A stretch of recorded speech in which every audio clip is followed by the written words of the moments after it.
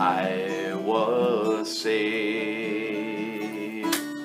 And now I love the life I'm living.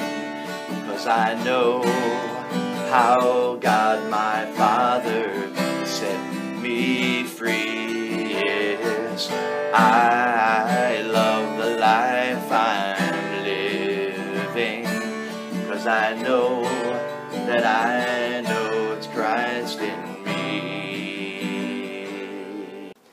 I shared with you a little bit Sunday about the doctrines of the world, and I touched on this whole monkeypox junk that's going around.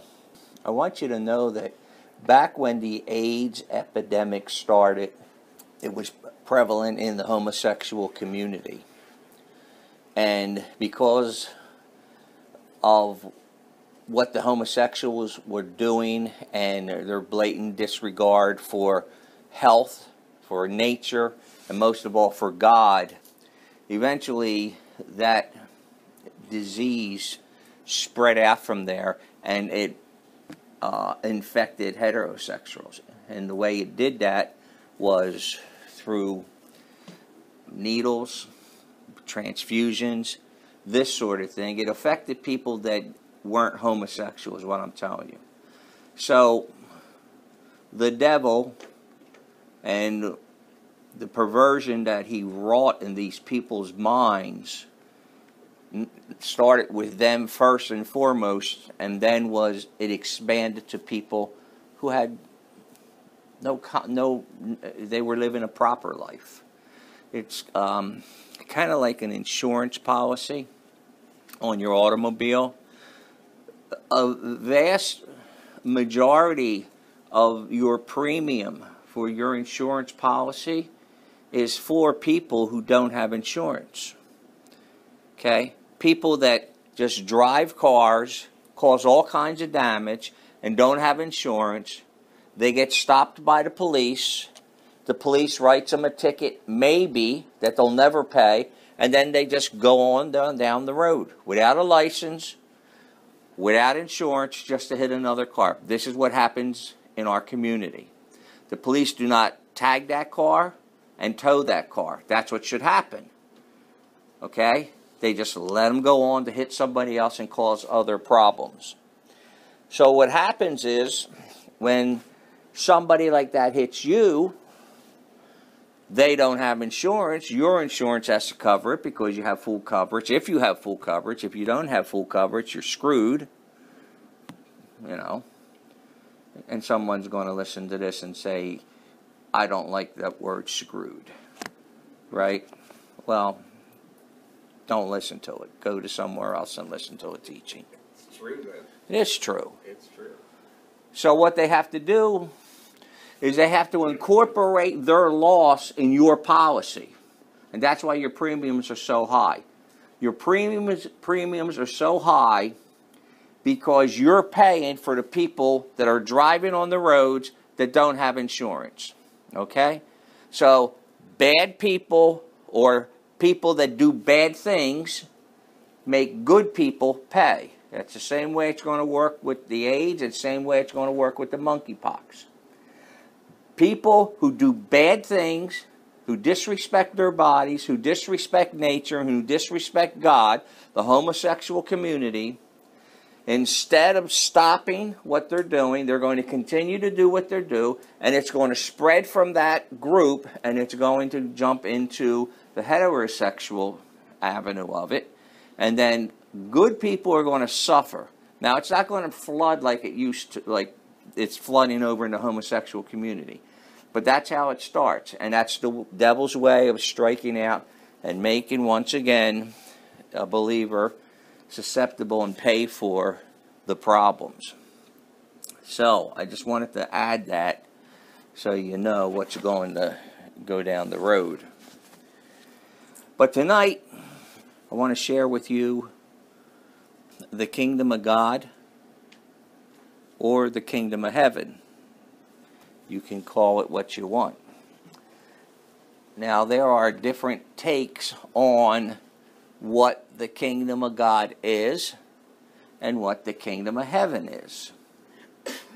And some people believe that the kingdom of God is one thing, and some people believe that the kingdom of heaven is something else.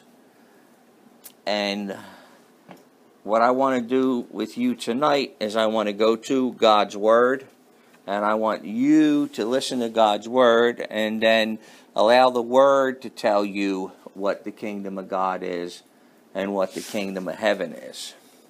So the question is Is there a difference between the phrase kingdom of God and kingdom of heaven? That's the question that's on the floor. Now, to start with, you should know that the phrase kingdom of heaven is used 32 times in the Bible. It's used 32 times in the New Testament, and it only appears in the Gospel of Matthew. Okay? The kingdom of heaven only appears in Matthew's Gospel. The phrase kingdom of God is used 68 times in the New Testament, and it's spread out throughout 10 different books in the New Testament.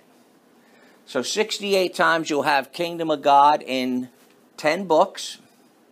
Matthew or Mark, Matthew, Mark, Luke, and John, or not Matthew, Mark, Luke, and John, and epistles. And 32 times you'll have kingdom of heaven, and that is strictly in Matthew's gospel. So, there are different thoughts on what they mean. Some have noted the Jewish nature of Matthew's gospel, in keeping with the custom not to speak the name of God because it was too holy. That was a good thought, I thought, used to think. But then when you go to Matthew's gospel, you see the word God a whole bunch of times in Matthew's gospel. You just don't see the phrase kingdom of God. So I said to myself, if you're not going to speak the word God because it's so holy in the gospel, and they're going to use that for a reason why they use the term kingdom of heaven, then they shouldn't say the word God in the gospel of Matthew, period. So I don't believe that anymore. Some believe that the kingdom of heaven in the gospel of Matthew is referring to the millennial kingdom of the future, but that can quickly be dismissed by reading several records. So, what I want to do with you tonight, briefly, and then what I want to encourage you to do for yourself is to just take a concordance and look up Kingdom of Heaven and look up Kingdom of God and read the records for yourself so you can have this cemented in your mind what actually is going on in Matthew chapter 4. I'm going to start there, and I'm going to read to you a record in Matthew 4. Now, I have taken a lot of time to develop this record because I want this record to be very, very, very clear to you, and I want you to see that this record, when we read in Mark's gospel, okay, is the identical time and place and record. That's what I that's why I've taken the time to do this. So you can go to Matthew chapter 4 and beginning in verse 1 it says then was Jesus led up of the spirit into the wilderness to be tempted of the devil and when he had fasted 40 days and 40 nights he was afterwards and hungered. From that time, Jesus began to preach and say, Repent, for the kingdom of heaven is at hand. And Jesus, walking by the Sea of Galilee, saw two brethren, Simon and Peter, or, or pardon me, Simon called Peter, and Andrew his brother, and they were casting their nets into the sea, for they were fishers. And he said unto them, Simon and Andrew, Follow me, and I will make you fishers of men. And straightway they left their nets, and they followed him. And going on from thence, he saw two other brethren, James, son of Zebedee, and John, his brother, in a ship with Zebedee, their father, mending their nets, and he called unto them. So it's interesting to note that the first four disciples, which later became apostles, that Jesus Christ called were two sets of brothers. Okay? Mending their net, and he called them, and immediately they left the ship and their father and followed Jesus. Now, in the preceding record that we just read, you have Jesus led up by the Spirit into the wilderness to be tempted of the devil. And after that, Jesus heard that John was in prison. He goes and he dwells in Capernaum. Look at verse 13. Leaving Nazareth, he came and he dwelt in where? Capernaum, which is upon the sea coast of the borders of Zebulun and Naphtali. Then the scripture teaches, verse 17. From that time, Jesus began to say, Repent, for the kingdom of heaven is what? At hand. And Jesus, walking by the Sea of Galilee, verse 18, saw two brethren, Simon, called Peter, Andrew, his brother, casting their net. And he said, Come with me, I'm going to make fishers of you, of men. They left. He sees two more, James and John, his brother. They're with Zebedee in the boat. That's their daddy. He says, Come with me. And immediately they left. And they followed Jesus. So the context is as follows Jesus, for 40 days and 40 nights, was tempted of the devil. When the devil ends his temptation, verse 11 of chapter 4 of Matthew says, Angels came and ministered unto him. Then Jesus finds out that John is in prison. And he goes to Galilee and ends up in Capernaum, which is nearby. Okay? You can find that out in verse 12. When Jesus heard John was in prison, he departed to Galilee. 13, leaving Nazareth, he came and dwelt in Capernaum, which is on the sea coast in the borders, such and such. Then in verse 17, he begins to call men to repentance, and he preaches, he begins to preach the kingdom of heaven. Verse 17 says, From that time forward, Jesus began to preach and say, Repent, for the kingdom of what? Heaven, heaven is at hand. Okay? As he's walking by the Sea of Galilee, he sees two brothers and he calls them to ministry. They follow. He continues to walk, he sees two more brothers. They follow. Okay? That's the Gospel of Matthew. Now, you know what's going on. Now let's go to Mark. And let's look at the identical record in the Gospel of Mark. Mark chapter 1, beginning in verse 12. Immediately the Spirit driveth him into the wilderness. 13. And he was in the wilderness 40 days, tempted of Satan with all the wild beasts, and the angels came and ministered unto him. So this again is talking about the temptations. All right? Matthew goes into great detail about the temptations. Mark just covers it briefly. Okay? But it's the same record. There were Jesus only went into the desert one time to be tempted of the devil for 40 days after he fasted for 40 days and 40 nights. Okay? Mark notes the temptations where Matthew goes into detail, but it's the same record. Now, we're in Mark chapter 1. Let's go now to verse. Now, after that John was put in prison, Jesus came to Galilee preaching the gospel of the kingdom of what? God. See it? He heard that John was John was put in prison. It says in Matthew he heard John was put in prison. In Matthew says he came preaching the kingdom of what? Heaven. Mark says, temptation, angels minister to him, heard John was in prison. After that, he starts preaching the kingdom of what? God. Saying the time is fulfilled, the kingdom of God is at hand. Repent and believe the gospel. In Mark 14, the record after John was put in prison, it says that Jesus heard about John's imprisonment. Jesus comes to Galilee preaching the gospel of the kingdom of God. In verse 15, he invites all people to repent and believe the gospel of the kingdom of God. Now, when he's preaching and he says this, he starts to walk by the Sea of Galilee. And the first two brothers, Simon and Andrew, he sees, he then calls them to ministry. Mark chapter 1, verse 16. Now, as he walked by the Sea of Galilee, he saw Simon and Andrew his brother casting a net into the sea, for they were what? Fishers. We read this in Matthew, right?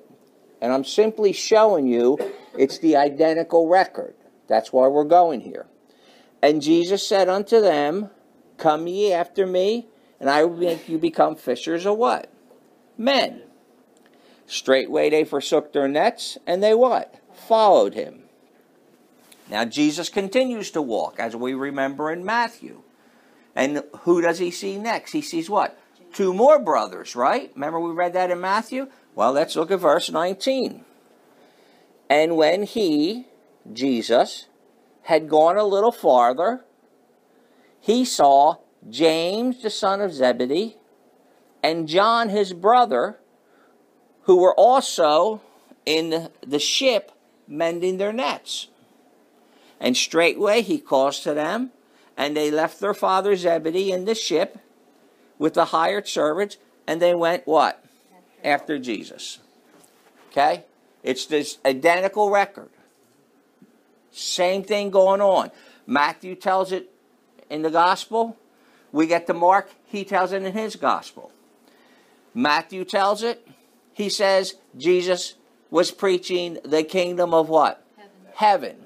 Mark tells it, same Jesus, same record, but Mark says Jesus is preaching the kingdom of what? God. God. Okay. In the Gospel of Matthew, it's called the kingdom of heaven. In the Gospel of Mark, it's called the kingdom of who? God. Okay. Matthew 19. Matthew 19, verse 16. Here's another record. And we're considering the phrase kingdom of God and kingdom of heaven to see if there's a difference between the phrase.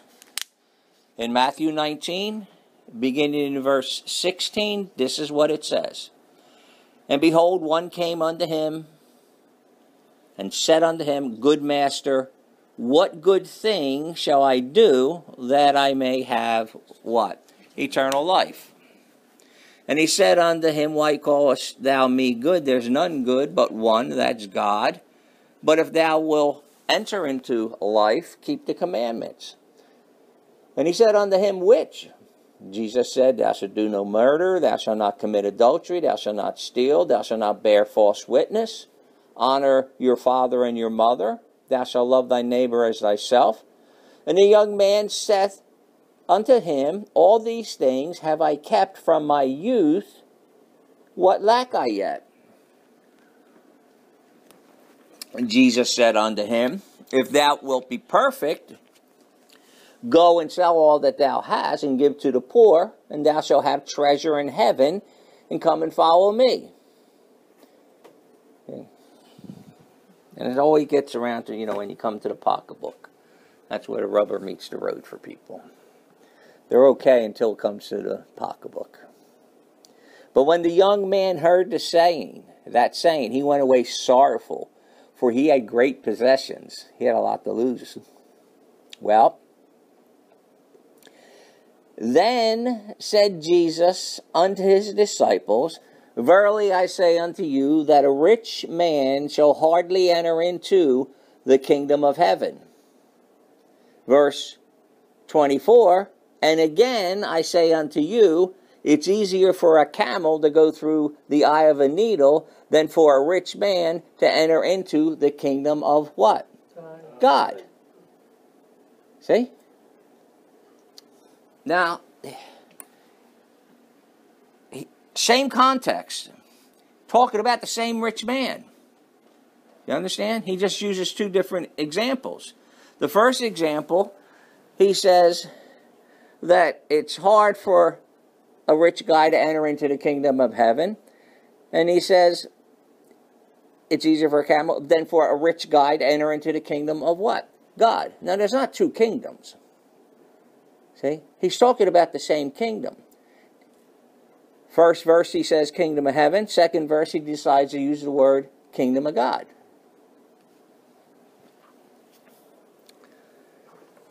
In the parallel accounts of Mark and Luke regarding this same scripture, and the one he uses the kingdom of God in Mark and Luke, and in Matthew he uses the kingdom of heaven. But you can see that it's talking about the same rich young man. Matthew chapter 11, verse 11. Verily I say unto you, among them that are born of women, there had not risen a greater than John what? You guys know this verse, right? You heard it before. Notwithstanding, he that is least in the kingdom of heaven is greater than he. And from the days of John the Baptist unto now, the kingdom of heaven suffereth violence, and the violent take it by force. Now, we were talking about John. If you go to Luke, we're going to look at the identical record, verse 28 of chapter 7, listen to what the scripture says once again. For I say unto you, among those that are born of women, there is not one greater prophet than John the Baptist. Talk about the same thing, right? Same phrase.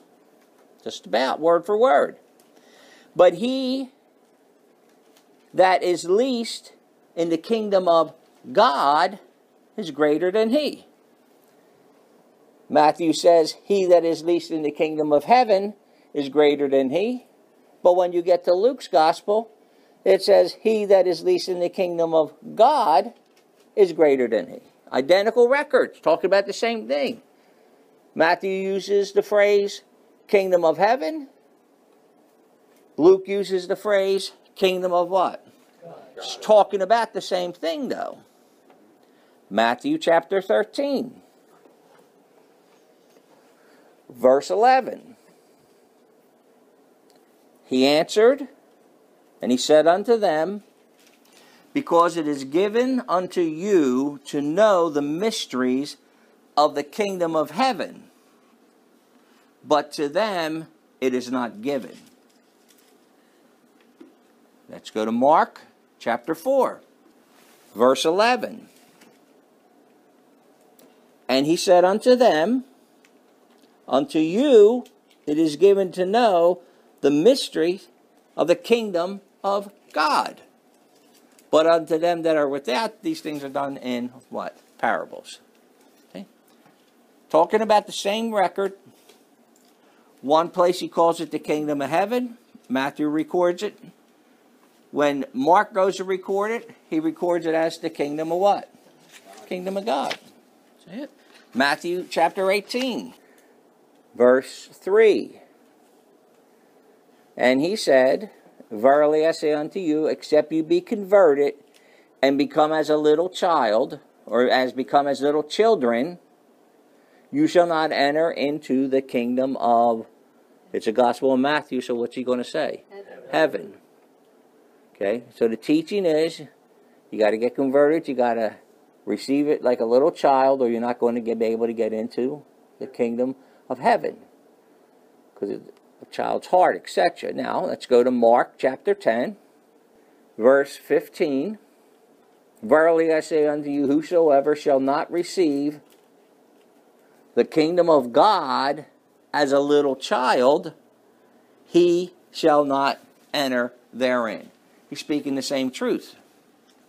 In the Gospel of Matthew, it was the entering into the kingdom of what? Heaven. Heaven. In the Gospel of Mark, got to become like a little child, entering into the kingdom of what? God. God. So that should be enough to get you started. You can go and do the rest for yourself.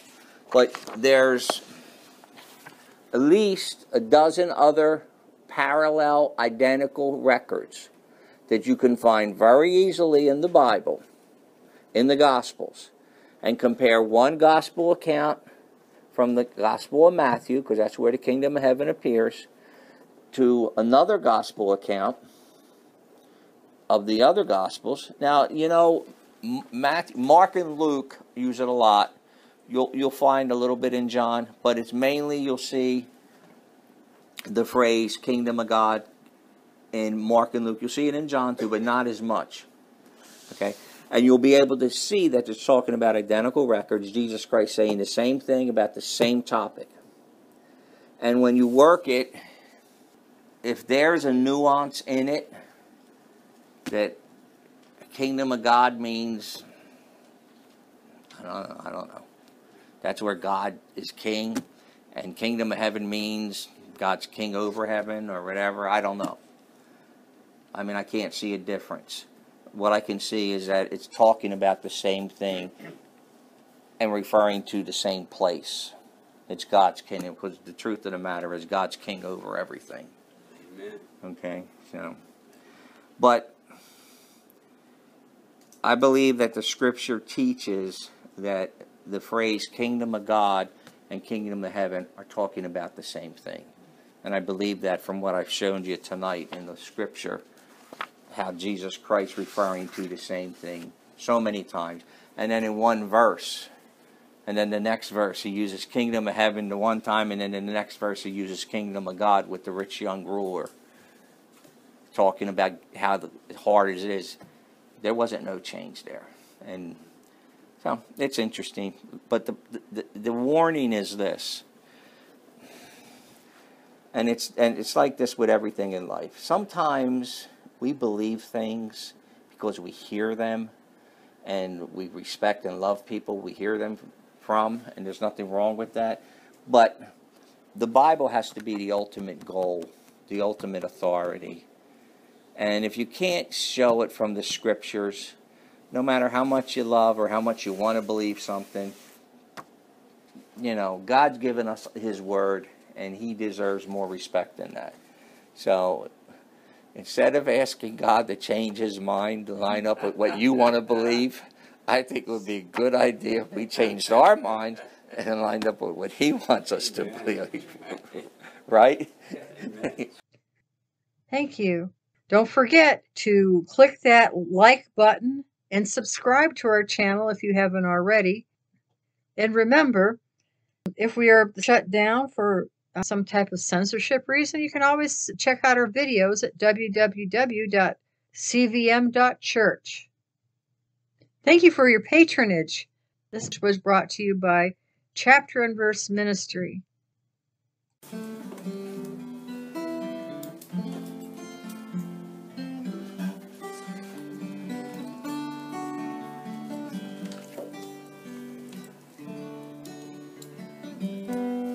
I was lost.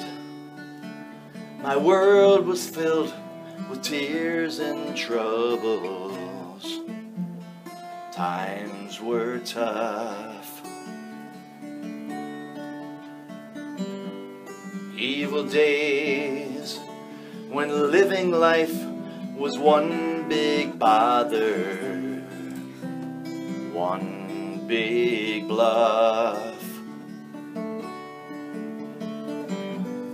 Running hard with no escape from darkness inside. I was enslaved.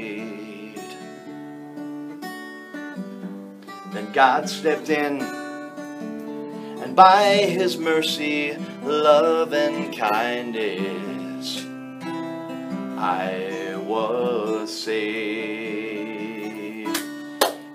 Now I love the life I'm living, cause I know how God my Father set me free. Yes, I love the life I'm living, cause I know that I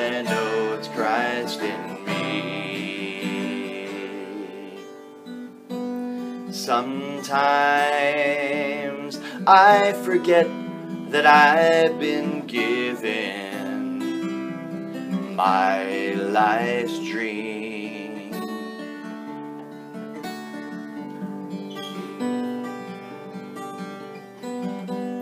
Peaceful days with Jesus Christ hard inside me, life supreme.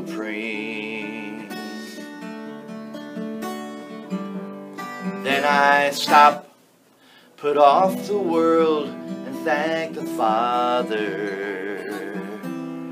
for His Son.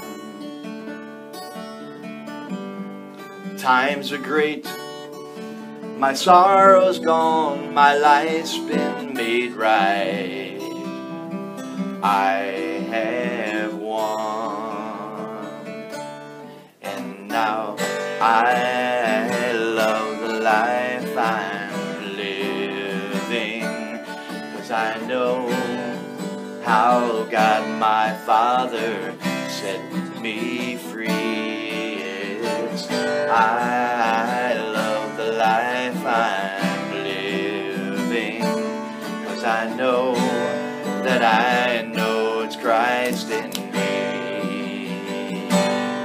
Well, I know that I know, I know that I know.